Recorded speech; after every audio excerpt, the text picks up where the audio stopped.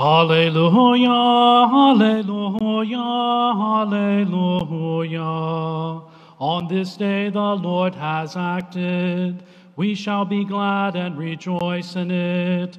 Alleluia, Alleluia, Alleluia. The Holy Gospel of our Lord Jesus Christ according to Mark.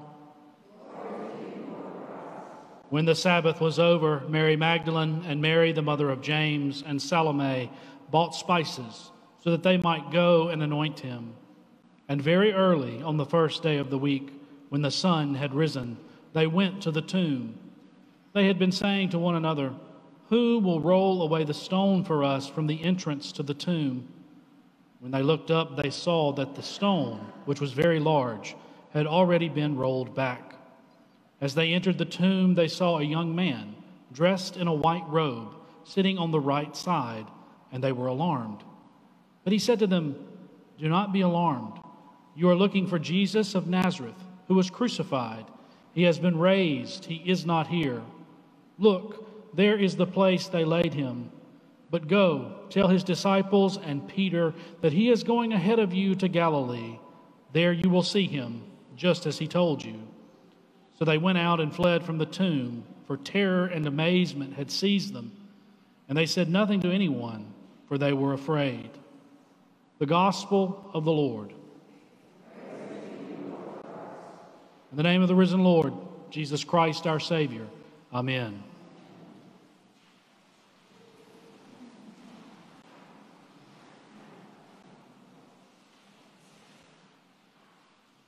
When I was a freshman in college, I participated in several different charitable events throughout the year. If you're a member of Greek life and fraternity or sorority, there were so many events that you participated in. And these were not just like selling candy to raise about $1,000 for some random charity. These were big events. My own fraternity had something called Diamond Days in which we had a baseball game and we played right on the Rebels field. Same was true for another fraternity that, that did what was called the Charity Bowl. And they actually played in Vaught Hemingway Stadium against another fraternity. Raised over $50,000 one of the years I was there. But my favorite, my favorite charitable event that was put on was something called Fight Night.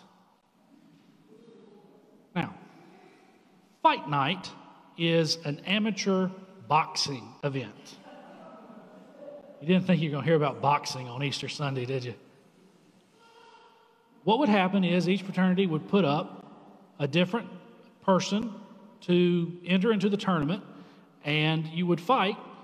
And depending on who won, those are who the sponsors would pay money towards the charity. They don't do it anymore. I don't something about concussions and a bunch of other, you know, newfangled stuff. But man, back then it was fun. I never participated, but I was there.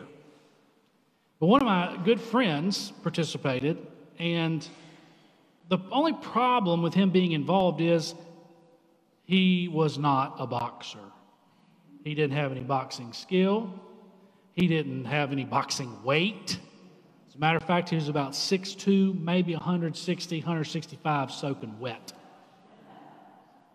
But he managed to make his way through the fight night tournament. As a matter of fact, he got to the final.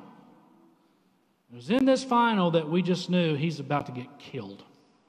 Because there in the other corner was some big old Delta boy, and he looked mean as sin. But Mike was ready to go. And he got in, the bell rung. We went through, I don't know how many rounds. And my friend was just getting pummeled. I mean, he was getting jabs and hooks right in the face. He was getting haymakers to the side, getting, I mean, just hitting the mat time and time again. But he kept getting back up. Matter of fact, he got up enough to wear the other boxer out. And he wound up winning. We were talking to him afterwards. like, how in the world? How in the world did you keep getting up? And he said, Man, I just kept saying to myself, just got to rise, just got to rise. Every time I hit the floor, got to rise, got to rise. We didn't know if he was on performance enhancing drugs or not. But I'll tell you, that tenacity, that phrase, gotta rise, has stuck with me now for over 12 years. If anybody has been knocked to the mat, has been punched in the face, is down for the count, it is the women that we meet on their way to the tomb. Today's gospel lesson from St. Mark. Mary, the mother of James, Mary being Mary the Virgin, so the mother of Jesus. Mary Magdalene and Salome all are making their way to the tomb. And they don't know what to do other than just to keep the traditions of, ripe, of the Jewish burial traditions of wrapping the body in spices. So they're just going along with the custom because that's all they know how to do because their world's been shattered. Their friend, in one case, their son, their teacher, their Lord has been murdered. And they watched it happen. Watched him die on a Roman cross, and be laid in a tomb hewn in the rock. They, they even seem to think that they're going to be punched again because they're talking on the way up there and they go, You know, we bought all these spices. We're on our way up here but while the sun is coming up and we don't even know if we can get in the tomb. Hopelessness. Hopelessness will punch you in the face and will keep you down on the mat.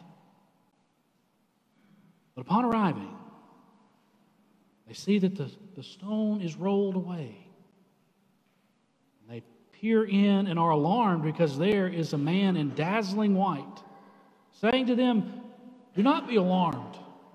You are looking for Jesus of Nazareth who was crucified. But he is not here, for he is risen. Jesus Jesus had within him that spirit that made him rise up. Why did he have to rise up? Because you see, friends, not, not only is it true for the disciples, not only is it true for the women we meet in today's gospel lesson, it's true for us too. We have all met a punch that has knocked us to the ground that we cannot overcome.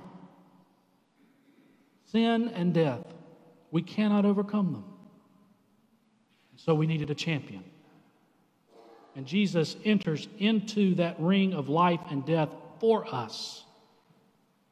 And just when you think that death and that hopelessness and fear have won, you see that the stone is rolled away. Not only that, but we hear that Jesus has gone ahead of us into Galilee. He's not done fighting for us yet. Jesus had it within him. He had to rise. Well, if anybody else has been punched in the mouth, I'd have to say it's us over this past year. 100 year worldwide pandemic. Something that has turned our lives upside down. It's certainly affected our daily routines, our Sunday routines. A year ago, I was preaching to about four people in that camera on Easter Sunday. It was hard to talk about resurrection. And I won't lie to you, it's still hard to talk about it this morning. As I think about those whom we've lost, as I think about jobs that have been lost, as I think about just the changes and the chances of this life that come and punch us even when we're already down. But it is in the midst of that when we think we are down and out for the count and there's nothing that's going to save us, there is Jesus. There is Jesus reminding us to rise. Resurrection is not just about a Sunday morn those 2,000 years ago. Resurrection is not just about a sermon once a year on Easter Sunday. Resurrection is about the daily getting knocked down and then getting back up because we serve a God who walked out of the grave. It is from that power that you and I are given the tenacity. We're given the Holy Spirit. We are given the power, the power of the resurrection, that no matter what comes our way, we know that Jesus has not only not only confronted it before, but that he continues to go ahead of us, just as he did for the disciples. So I want to challenge you and to challenge myself. Let's be about the business of practicing resurrection. And all of life's challenges and all the punches that we will get, because guess what? They're still going to come. Even after the pandemic is gone, even uh, whenever things seem just perfect, the punches, they're going to come. It's during that, in the midst of that trial or that trouble, that we can say, but we serve Jesus Christ, who comes to us and fills us with resurrection power and says to you and to me,